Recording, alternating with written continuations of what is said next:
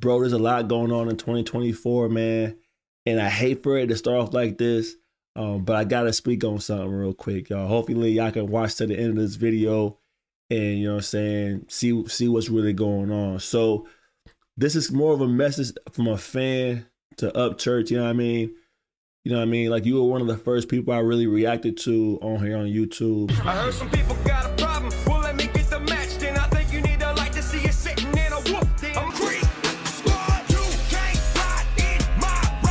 You know what I'm saying? Reacting to your music or whatever, even buying your music. You know what I mean? That's kind of the highest peak of what you can do, you know what I'm saying, as a person that's a fan of an art form. But it's like as of lately, bro, you've been you've been kind of going left with uh your comments on Instagram and like your I don't know what you got going on personal, so we're not gonna get into all that.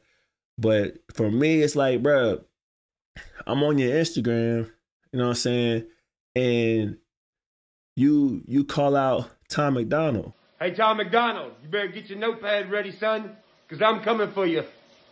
Nobody thinking like this, so why you sit on the fence? My language arts gun racked, holding infinite clips. Then after I conquer your ass, I'm conquering everybody else that thinks they can't be. And you say whatever you got to say, and it's like in your comment section, I'm going through the comment section because I'm like, damn, like what's this all about? Like where did this come from? I thought y'all was cool. You know what I mean? I thought y'all was boys.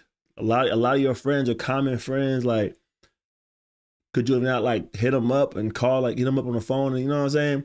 And it's like, but I'm going through the comment section, and you over here calling, you over here saying the word nigga a lot.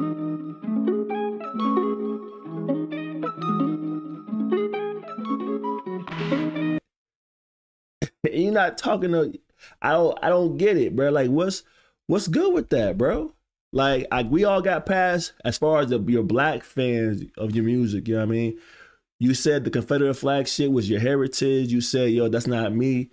That's not who I am. That's not what I stand on. It's just my family, and that's just how we were brought up. Um, you say, you know what I'm saying, you love all people and you, you know, one, two, and three, you feel me? And you're not racist and you're not even like that. You know what I mean? And based off what you telling me, I'm like, all right, bet. We grown now people have people have the right to support whatever flag they want to support.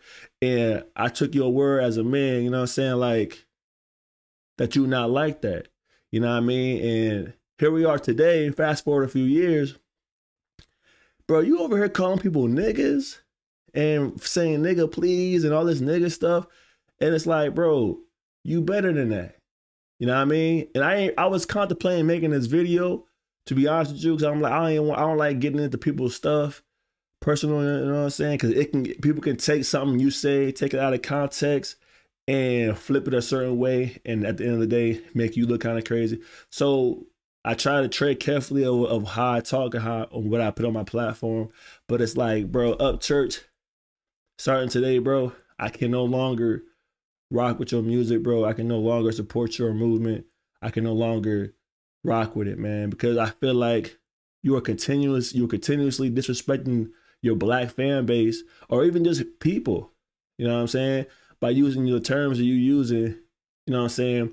Like the niggas terms you using on your platforms. And it's completely disrespectful. And a lot of your your own fans are telling you you got you got a pocket when you're saying that. You completely ignore them and you keep posting the shit. So me as a reactor, this is my first time doing something like this. Hopefully, um, Creek Squad, you can like, I don't know, I don't know, you know what I'm saying? I love y'all for real, for real. A lot of y'all put me on a lot of good music. I appreciate y'all for that. Um, but I feel like church is just like he's going in a different direction. And where I draw the line, I don't like I don't like disrespecting people's cultures, and I don't like disrespecting people's races. Like I don't do that. I don't rock with that. So because of that, bro, I'm gonna have to fall back, bro. I'm gonna have to fall back. You, I will no longer be reacting to Upchurch on this channel, and that's where I stand on that. You know what I mean? I think as a country, bro, we got enough stuff dividing us up as it is. Um, our country is going through turmoil right now, and we don't need people with huge platforms talking and speaking reckless and talking crazy. You know what I mean? And using these kind of terms when describing different scenarios, bro. If that's how you really feel feel about black people, or if that's how you really feel about people, you think it's okay for you to use that term, that's your right. I respect your right, but you respect mine. I'm just gonna have to fall back, man. I know I'm a small channel.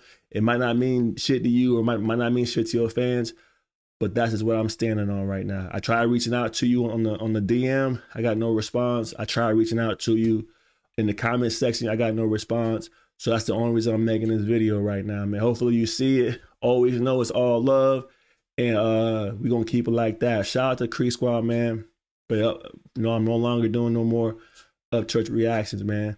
And um if I don't know, you know what I'm saying? But until next time, y'all be safe out there, man. Peace.